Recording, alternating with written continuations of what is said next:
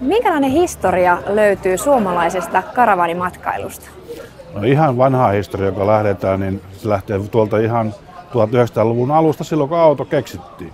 Ja sitä kuriositeetti voin sanoa, että joskus 20-luvulla la, lanseerattiin tällainen kuin autoulkoilu harrastaminen, mikä ei tänä päivänä ihan kuulosta normaalilta.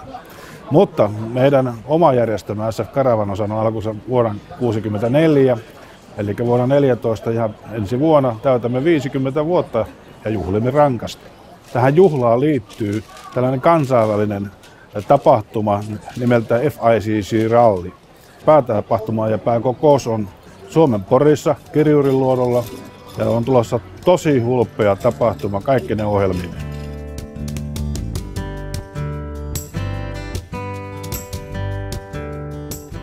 Nyt jos halutaan sitten vaikka matkustaa tuonne vähän etelämmäksi, niin minne suosittelisit suuntaavan esimerkiksi asuntoautolla tai vaunulla tuosta Suomenlahden ylitse? No, tämän päivän oikein hittituote on Latvia. Latvia on tullut ulos niin kuin kuorestaan ja tarjoaa paljon elämyksiä, uusia leiritalueita, luonnonpuistoja, kaupunkikohteita, huvittelua, laskettelua jopa ja kaikkea siltä väliltä. Ja se on lähinnä. Sinne on helppo mennä. Se on ihan muutaman tunnin päästä esimerkiksi täältä Helsingistä ja mikä ettei.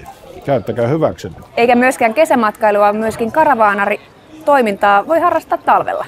Kyllä tämän päivän laitteet ovat sitä luokkaa, että kylmää ei tule, oli keli mikä tahansa. Ja pohjoisessahan on rinteet täynnä erilaisia matkailuajoneuvoja. Ja toki voi harrastaa mitään muutakin lajia, ei se pelkästään olisi laskettelu. Tämähän on väline, jonka avulla voidaan tehdä mitä tahansa.